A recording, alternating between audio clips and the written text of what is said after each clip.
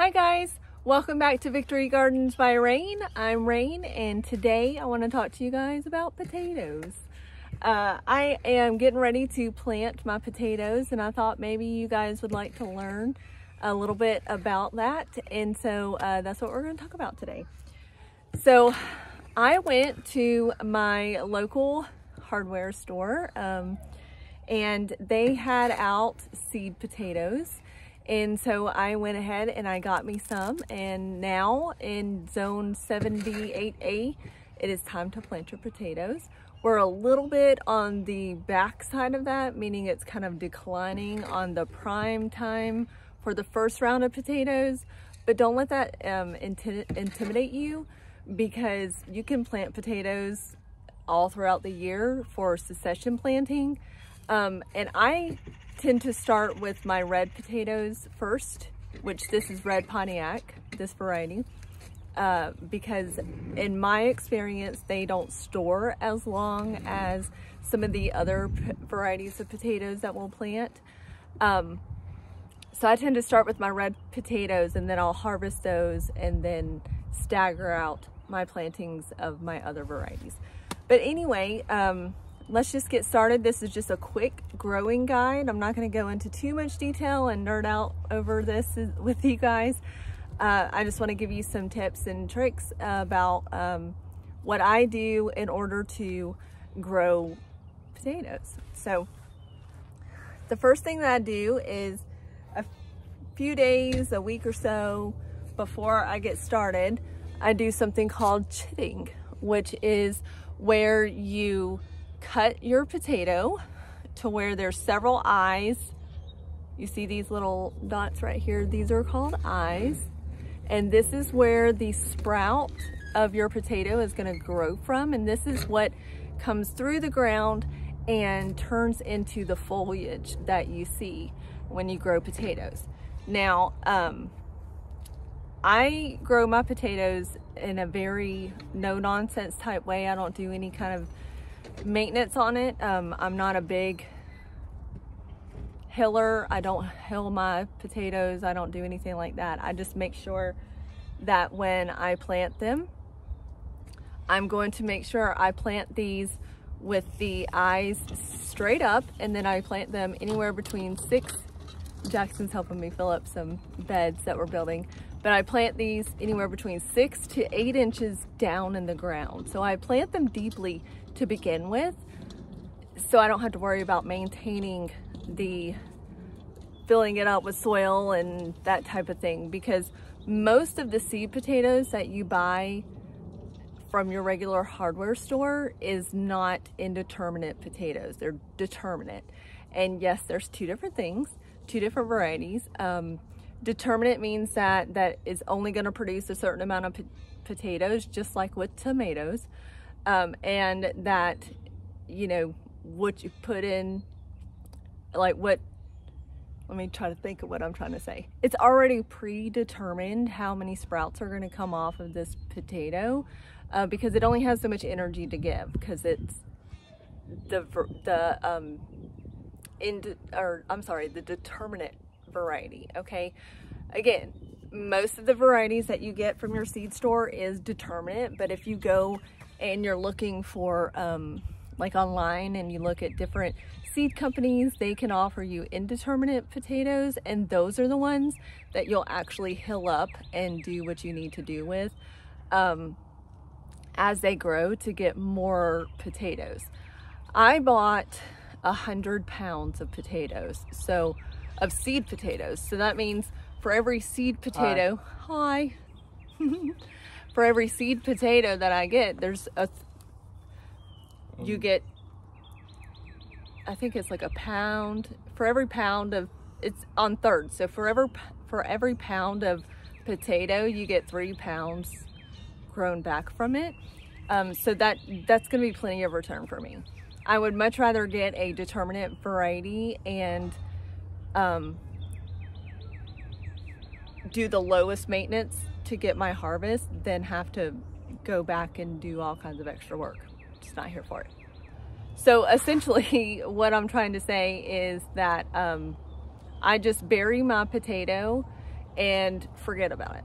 All right. Now, when I get ready to plant my potatoes, I do some soil prep work where I take um, the Espoma garden tone and I put it down in the soil to make sure it has a granular fertilizer in it. Now this is soil that we just got. It's a mix of half topsoil, half compost, so there's a lot of nutrients in it anyway. Uh, but I go ahead and put my granular fertilizer in there because by the time these guys sprout and they're ready to put out roots and everything, they'll be able to feed from the uh, available nutrients that are in the compost. And then as the granular breaks down, they'll have that food as well. Uh, but the trick uh, with growing potatoes is you leave them alone. Just don't do anything to them. Don't even, don't even look at them sideways. Just don't. Potatoes are going to do their thing. Uh, just make sure that you keep your beds nice and weeded and then you're good. So once you have your soil, you know, a nice good soil mix in your bed, this is a raised bed. Um, I stand by what I'm sharing with you today, even when you're doing in-ground beds. Um, just plant them six to eight inches deep and um, make sure you put a granular fertilizer in there eh, or a lot of organic matter. And then the secret, are you ready? Do not water them. Do not water your potatoes when you plant them they are going to, this, the natural moisture from the soil um, is going to activate this tuber this, to um, start growing its sprouts and then the roots are going to come out here around this part. They're not going to come out of this whole, um, this cut side. They're actually going to come out of this skin on the um, outside of the potato and then once the root development hits, which is several weeks, like a couple of weeks, then you'll start seeing the green growth. Water your plants once you see green growth coming from where you planted your potatoes. If you water them in, or if you water them as you go throughout the um, waiting period of seeing your sprouts, that gives a lot of potential for this um, seed potato to rot. So a couple of days, well, actually it was like a week ago, uh, me and my friend Emily, we chitted and chatted, which I think is hilarious. um, she totally put me under the butt, like she was a cutting machine, all right? I'm over there yammering, so she mostly did the chitting and I did most of the chatting. I don't know if you guys are surprised by that or not, but uh, we had a lot of fun cutting these up and getting them ready and putting them in a dark place, which was my the, a table on in my shed, and um, letting them dry out. So this is completely, I don't know if you can hear that. That's completely dry and you can see around the edges. Kind of, let's see if I can get that to focus. It's really kind of crusty around the edges.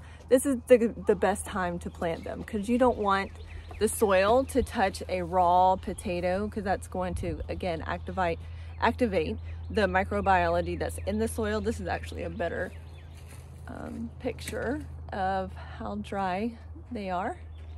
Uh, so that's a really good part that you want done. Um, and then, Jackson's getting my tool out of my bucket. But, um, and then you just plop these suckers in the ground, cut side down, eye side up. All right, so let's get started. Okay, so I went ahead and um, laid these out because I wanted to see how many fit in a four foot bed and it's so not putting a dent in my potato, seed potato, so um, stash. So I'm actually going to do this one bed for this video. And then uh, once we get more of the eight foot beds done, that's where I'm gonna be putting my potatoes to put more in one spot, you know? Um, but the there's about let's see 5 10 15 20 1 2 3 there's 23 little chitted pieces of potatoes in this two foot by four foot bed they're about six inches apart and um, that's a little close for potatoes, you want to plant potatoes depending on how big they are. When you chit them, the general rule is to cut them in the size of a, a regular egg. Okay, so you don't want to go any smaller than that unless you have a specialty variety. Um, but you want to put about 9 to 12 inches between a potato, between each potatoes. But I can't talk. You see, you hear what I'm saying? All right, we're just gonna move on. So anyway, this right here um, is about six inches apart, but I am going to harvest this as new potatoes, meaning that once they start showing that they're growing into potatoes about each just big, then I'm gonna go ahead and harvest them out, which you can figure that out as you move the um, soil around and you can see when potatoes start to develop. Usually they'll develop after the foliage is about 12 to 15 inches high and they'll start putting out blooms. Um, a bloom on a potato looks very similar to an eggplant bloom if you've ever seen that. Um, when I first saw one it looked very um, out of this worldish like it looked like what I imagine you know another planet flower looks like which I tend to let my imagination go crazy with stuff like that. But it was a very unique flower, but it doesn't necessarily flower for them to be ready to grow because they're just going to grow from day one. It's just going to start doing its thing. And you can harvest potatoes pretty much any time after the foliage is about 12 to 15 inches tall. Um, and then it just depends on how big you want your potatoes to be. Once you start seeing foliage, and you water those potatoes, that really kind of determines how big your potatoes are going to be uh, because potatoes are mostly water, right? And so um, you want to water well once a week or so. Uh, make sure that your soil is well draining so that the pot potatoes don't sit in wet soil because they will rot. Um, and then that's all you do. Like you just kind of leave them alone you know what I'm saying? If it rains that week, don't even worry about it.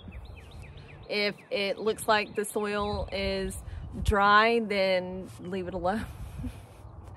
um, I potatoes are tough. They're so tough. I tend to encourage people um, who's never gardened before to put the potatoes that are stashed in the back of their pantry in the ground and watch it grow and do nothing and you will have a very easy win and you'll get the bug the the I want a garden bug because uh, it's so simple. The best thing about tubers like this are are um, you know yeah tubers um, is they they do the work themselves. They the potato itself is going to water the eyes until the potato is gone and then they put out roots and then the roots pull the nutrients from the soil and as long as they're in an environment to where they can get water every once in a while and um, sun then you're good to go. So anyway we're gonna go ahead and plant these and uh, kind of show you. I, I went ahead before this video because I wasn't thinking um, and I took a good heaping handful. I don't really measure. This stuff is is pretty um, mild but a heaping handful and I mix it in to the top probably three inches of the soil right here um, so that it would have available nutrients as it rains or as it gets watered naturally. Like I said, I'm not going to water these potatoes um, until I start seeing growth. And then I'll water pretty regularly, like once a week or so. Um, so anyway, I went ahead and did that, scratched it into the top few layers of the soil. And now all I'm gonna do is push these potatoes down uh, about six to eight inches and then cover the soil back up, and then I'm done. So just in case you didn't know this, um, I have a tiny little chick hand, but this is about six inches right here. And so I just bury my hand down in the soil. and then once I get down in there, I just plop the potato down. So I just take the potato, put my hand all the way down into the soil,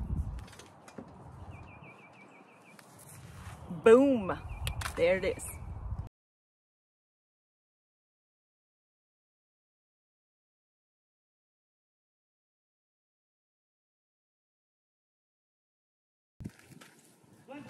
All right, guys, there you go. That's it.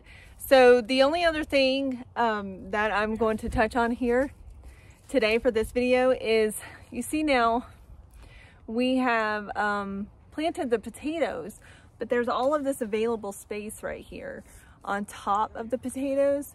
And so um, I'm actually going to ponder over what I'm going to plant on top of it because I don't believe that um, you should leave available space open in your garden when you have a chance to grow some food there. So I am going to go look through my seeds and probably plant some radishes or something very quick that will come to, or lettuce or something like that, that I could do um, to use this empty space while those potatoes are sitting there because it takes them a while. It'll take them, you know, at least a couple of weeks before they even activate. And then um, it'll be another couple of weeks for the sprouts to come up to the top of the soil. And by then I could have a whole harvest of lettuce or I could have a whole um, harvest of radishes, um, which by the way, if you don't like radishes, which I don't, I don't, I, I don't like radishes at all, uh, raw. However, I love radishes when I put them in the oven and they are roasted. So anyway, um, thank you guys so much for hanging out with me today as I plant potatoes. I'm so thankful that you're here. Please make sure to hit that like and subscribe button to support this channel. Um, and also, if you could make a comment in the comment section down below, just so that I know you're here and just kind of familiarize myself with some of you all. Um, and I really encourage you to uh, put your tips and trip, tricks down in the comment section so that we can learn from each other because uh, I'm I love to learn. I love to learn what God does in the garden and I love to learn what you all have walked through. So again, thank you so much for being here today. I hope you guys enjoy planting your potatoes and let me know how it goes. Y'all have a blessed day. Okay, so I forgot to tell you a very important thing. Make sure you label your potatoes and anything that you plant. So, boom. Happy planting.